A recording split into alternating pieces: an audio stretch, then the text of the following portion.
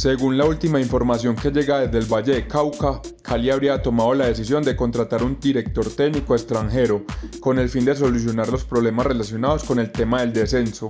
Aún estarían analizando nombres. ¿Quién crees que debería ser el director técnico de Cali? Nos vemos en la sección de comentarios. ¿Qué más, parceros? Bienvenidos a Esencia. Aquí está la información del fútbol colombiano.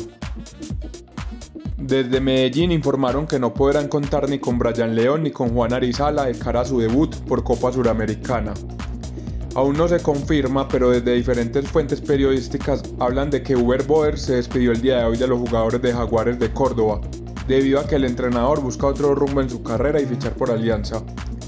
Rafael Dudamel, el actual entrenador de Bucaramanga, dijo en una reciente entrevista que está encantado con el equipo, pero que no solo están centrados en los próximos partidos, sino también en ir por el campeonato. En las últimas horas se han viralizado videos de hinchas del Junior de Barranquilla teniendo peleas callejeras en Brasil. A continuación te mostramos el video.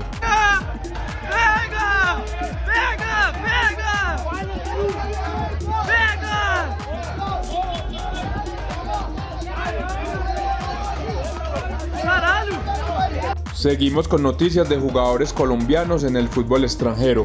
Iniciamos contándote que Lacey Santos tendrá nuevo club en el mes de junio, debido a que abandona el Atlético de Madrid y llegará a Washington de la Liga Femenina de Estados Unidos.